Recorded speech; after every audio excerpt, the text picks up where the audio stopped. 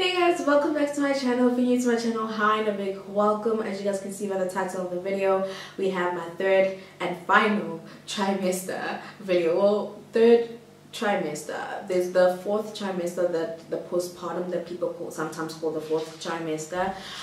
Um, but I'm just gonna call that like this is my final. I'm done. I am finished. You, I'm finished.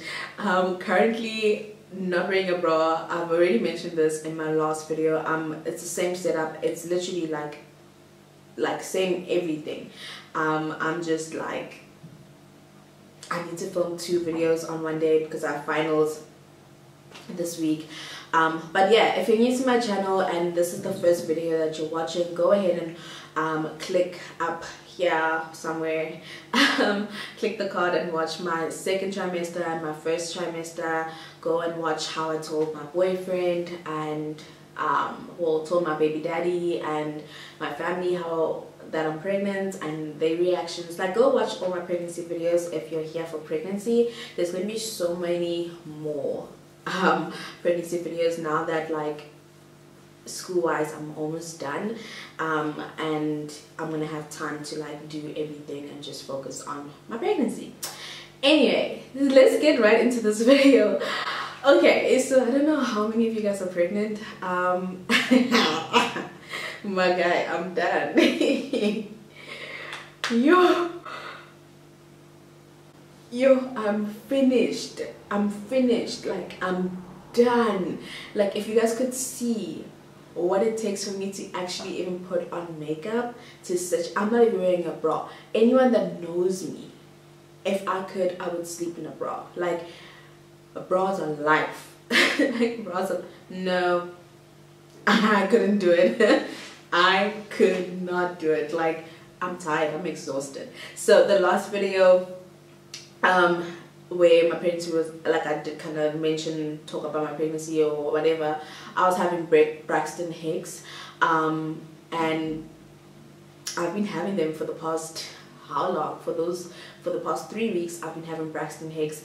It's been one hell of a, a mess because every time I have them it's my first kid and I'm doing it alone. Like I'm like doing everything on my own. So like it's my first kid and it's like is this time? Like i don't know like when it's time or when it's not so i'm always always on the phone with my mom calling my mom and i'm just like listen i'm having pains and i'm also very much very scared of going to the hospital. Like i always like prolong going to the hospital. Like even in general like my pregnancy stuff like i always prolong it.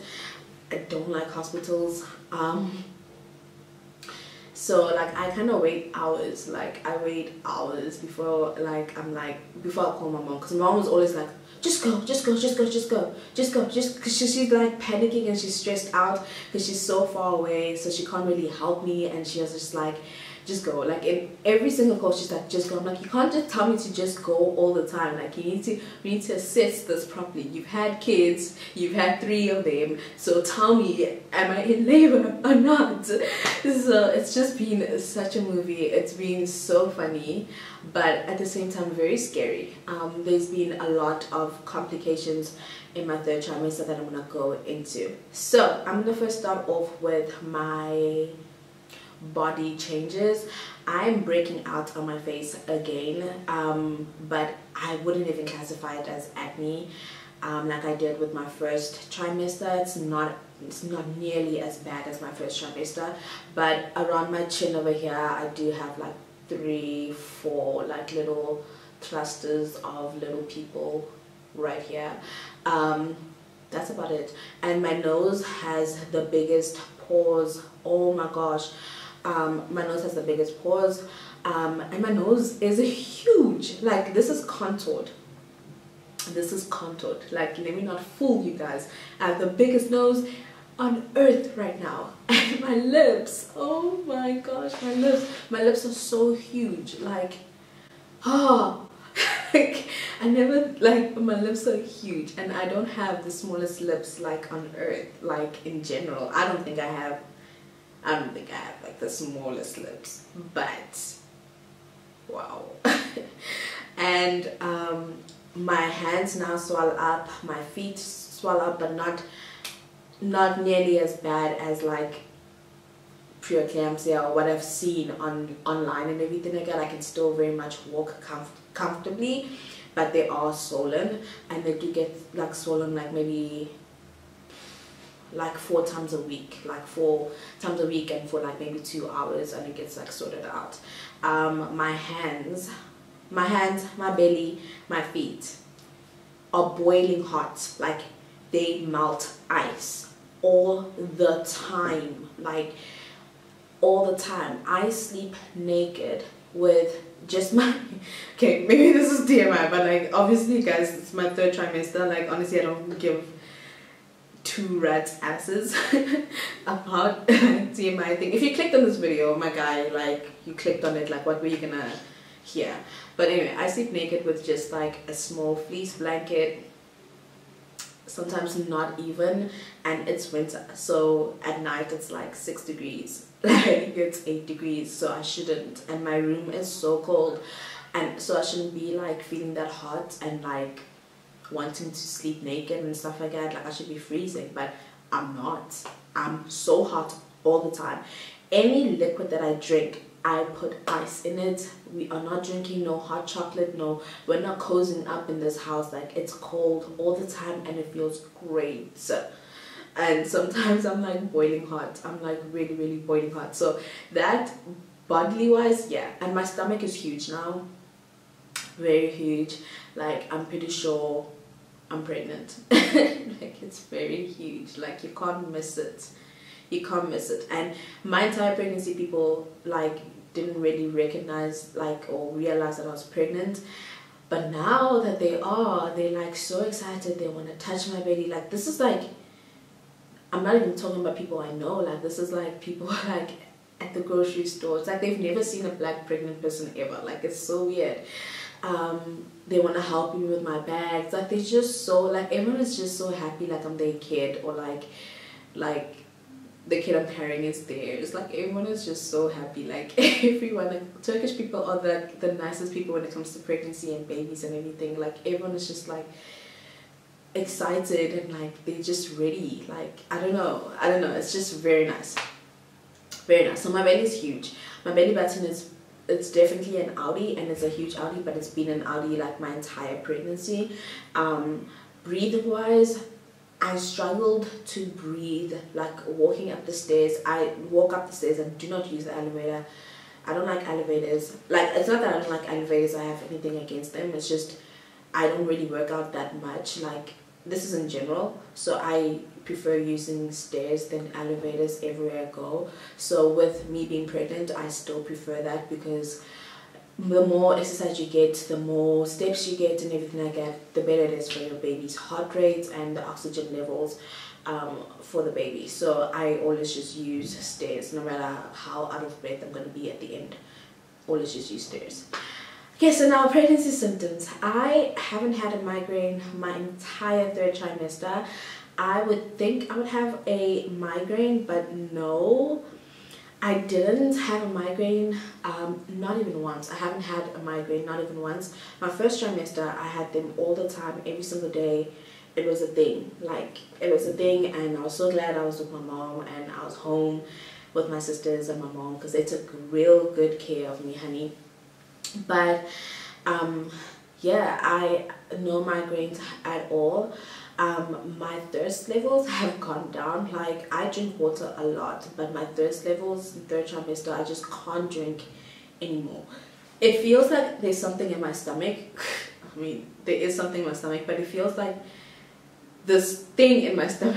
okay, it feels like my baby is like, like, I don't know how to. Makes me full. It feels like I ate my baby and I'm full all the time. So like I take two bites, three bites or something and I'm like like painfully full. Like painfully full. Like I'll be starving, starving, starving and then I take two bites, three bites and then I'm full. Like painfully full. Um and it kind of makes sense with my weight gain. Weight gain wise, from pre-pregnancy, I have only gained two kgs. Yeah I've only gained two kgs and my baby currently weighs almost 3 kgs. So you do the math i haven't really gained weight. I've lost a lot of weight. Um i haven't gained weight much it's just all belly like i really haven't gained weight at all. I was even trying on like jeans and stuff and they fit me. Like they fit me. They just don't button up because they're high-waisted and i have a belly. But they fit me. Like they really genuinely fit me. So i haven't gained weight and i think it's because my baby just eats all my food and doesn't give me some. Like doesn't like eats all my food and does not leave any for like me. Um but yeah back pain that i had in my second trimester is totally gone. I do not have back pain at all. Like at all at all. I, like i don't have back pain like at all. But my second trimester oh that showed me flames. Oh i saw yeah i saw the light with that. Um but i'm definitely tired. I'm definitely ready for baby to be out like out like I don't sleep at all. I sleep at 8.30 a.m. every single day and wake up at 12. So three and a half hours of sleep every single day. I'm exhausted, but I cannot sleep at all to save my life. And it's just annoying. It's so annoying. It's so annoying because the longer you're awake, the more you need to eat. So I'm having to like make food at like random hours, like at 4, at like 5. And it's cooking because like can't be takeout. Um, so to say that my baby is like a very needy baby is like just like the mother, but like wow, child, it's like hectic. Sleeping is very uncomfortable at this point. Um, my belly is so heavy and it's just so full at the same time that laying down is just very uncomfortable. I do not breathe properly. Um, and they say I should lay down on my left side with two pillows. That helps a little bit but then it makes me like nauseous to the point where I like vomit while I'm laying down. Like it's it's so bad. Like I it's so bad. It's so bad. When I'm on my left side I'm vomiting. When I'm on my right side I can't breathe.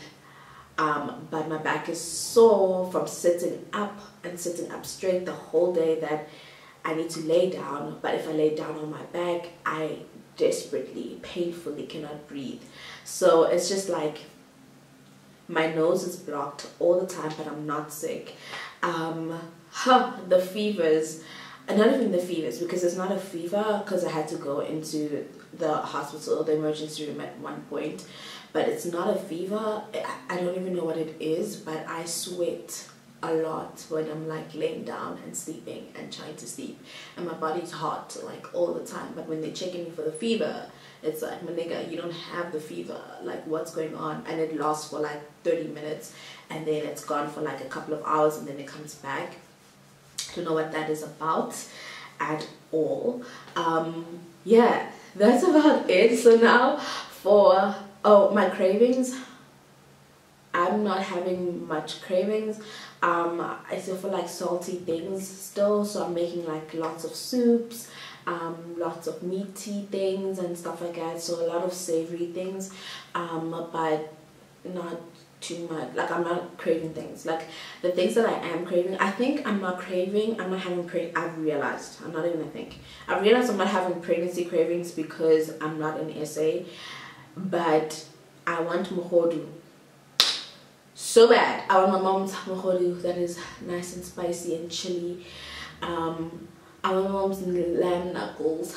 Oh my gosh, her lamb knuckles. They have lamb here, but they don't cut them like into the knuckles. Like I keep showing them pictures and they just they don't do that. Like oxtail. Oh my gosh, I want oxtail all the time. Oxtail from cream with the risotto, broccoli, risotto I want that. I want Spur buffalo wings, the spicy ones with those chips on the side. You put some salt and then you put that like salad dressing, that white sauce salad dressing thing all over it and you just eat it and you just feel good about life. Like, oh, oh, oh my gosh. I want Tasha's Oh my gosh, I want Tasha's. I never thought I would ever want Tasha's because I speak bad about Tasha's all the time, but I want Tasha's Turkish Delight cocktail. Like, my nigga, it doesn't even have to be alcoholic, it can be a virgin. Listen, I want that cocktail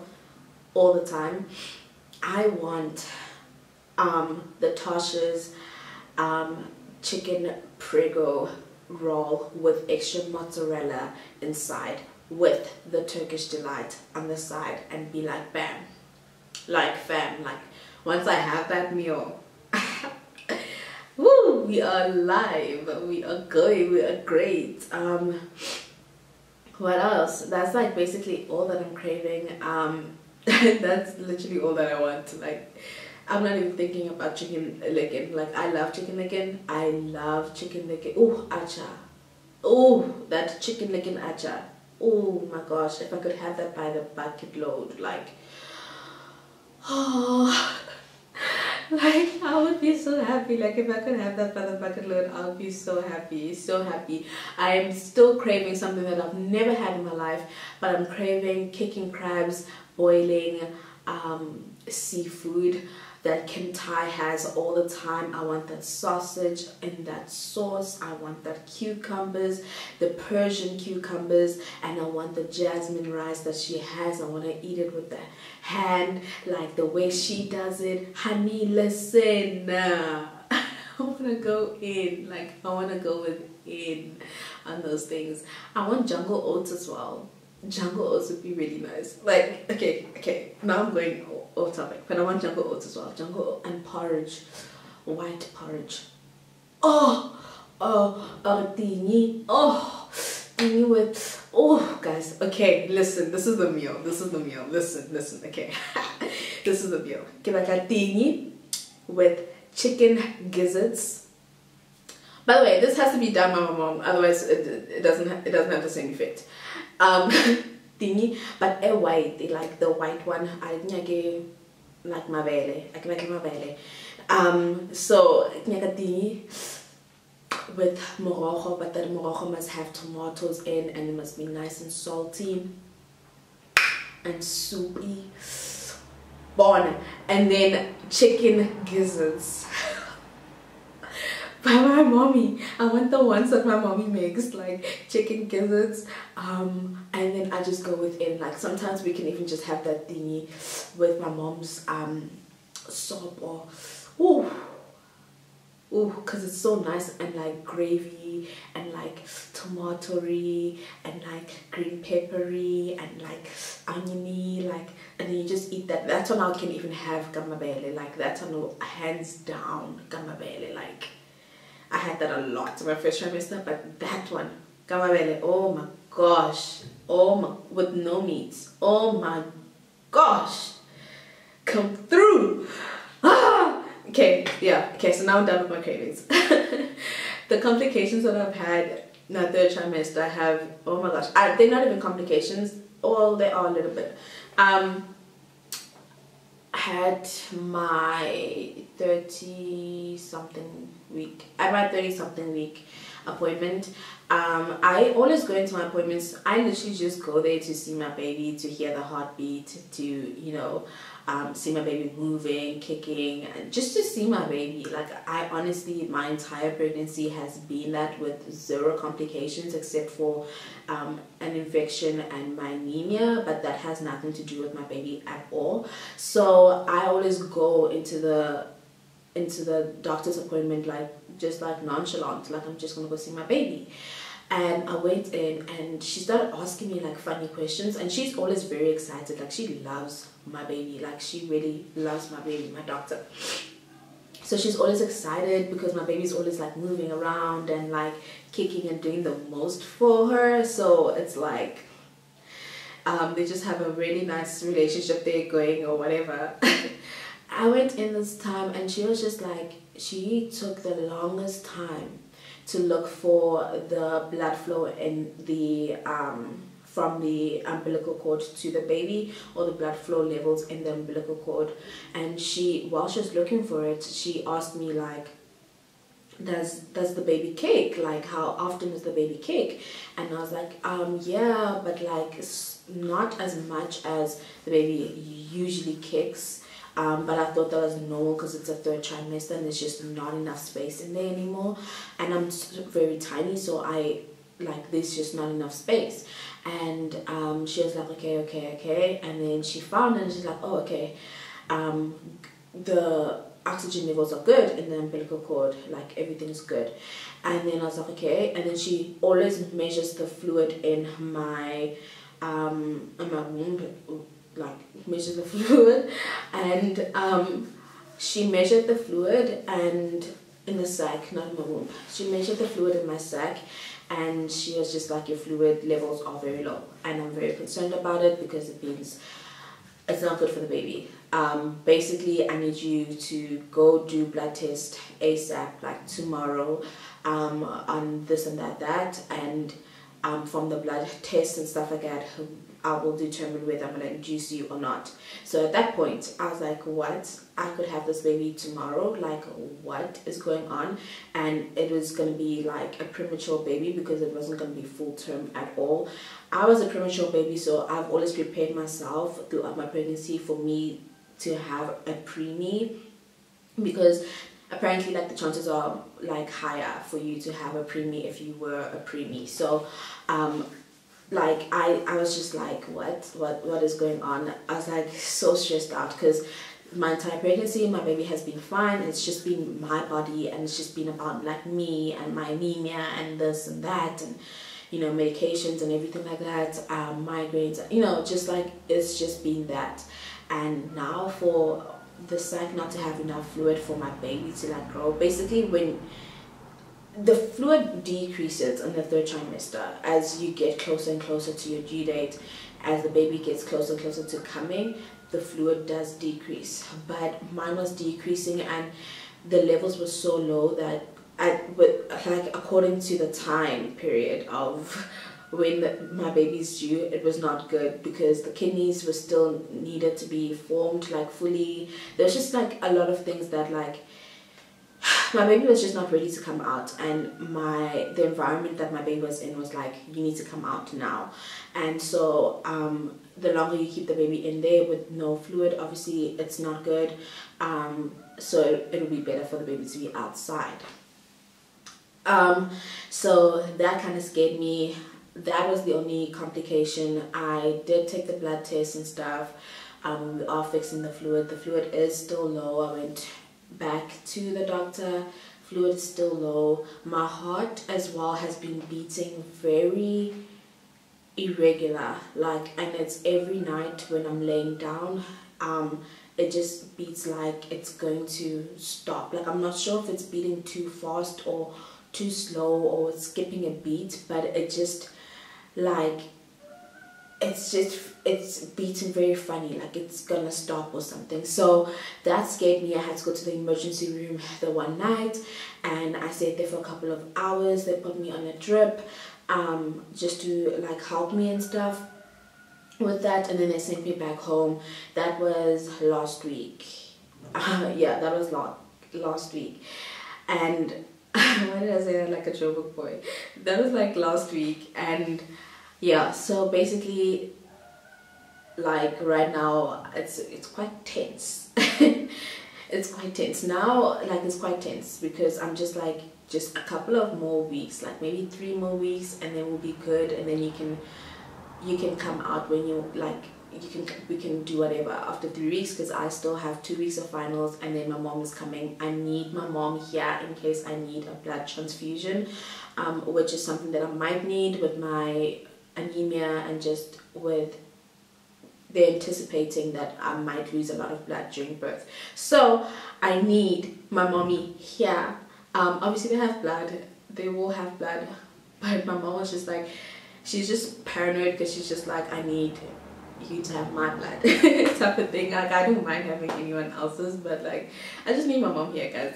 That's all. So i'm just like okay everything just needs to work together to come together so that my mom can be here like even if i miss finals at this point like i will then have to do another semester which is irritating which is what I did not want because if if I was gonna ha- if I'm gonna have to repeat the semester, I would have much rather been in South Africa for my entire pregnancy then and just given birth there because that's where all my family is. Um, and it would have been really nice to have my family and all that. Um, so if I were to miss a semester, like if my like I didn't struggle throughout this entire semester for me to fail it and repeat it, like that will just piss me off. Like that would just piss me off. Like that will piss me off so much because I had the opportunity to be at home and stay at home or to even like go to another country and just relax and stay or even just stay here and just relax and stay here. Like you know and not have to do with midterms and finals and assignments and presentations and all that jazz so if I had to go through all that struggle of waking up pregnant driving to school, coming back late, and having to like you know clean and cook and do all that stuff with school, with YouTube and everything. I would be so mad if I had to do that for nothing. Like if I miss my finals and then I just fail, like we're squaring up with someone. Like I'm coming for someone at that point. Like I'll be so mad. So I know it's it sounds vain to be like, oh um, baby must just stay in there for the next two weeks because I have finals. But like, you guys must understand, like I put my all into the semester. Um, it was not easy. Like it's not easy to go to school pregnant. It was horrible. Um, it was just very difficult. Um, it wasn't horrible, like I, like horrible or anything like that. It's just it was very difficult being pregnant and tired all the time and having to study and comprehend all these things when all you're thinking about is your baby and all you're thinking about is like the things that you could be doing at home like cleaning and preparing for the baby and all that but you're still in class like it's those things were a bit challenging or like being away from family like that's the one thing I have struggled with. That anyway if you guys like this video please do give it a thumbs up. Don't forget to comment down below and um, let me know if you guys have been pregnant or you are pregnant. What is the one thing that you guys are really really struggling with? Um, for me it's just not being around family honestly. Um, and I think it's going to be a huge huge struggle for many years um, not having my family around like if I do decide to stay abroad forever. Um, that's gonna it's just gonna break my heart. Like it's just gonna break my heart. Like it's just gonna break my heart. Because i can't always have my child's birthday parties in another country or like it's just gonna break my heart. It's honestly gonna just break my heart. But anyway um just let me know what you struggled with within your pregnancy what you struggle with motherhood motherhood what you struggle with um um if you this is only if you guys have been pregnant. If you haven't been pregnant my guy. It's a lot. Um, and I'll see you guys next week with another video. Bye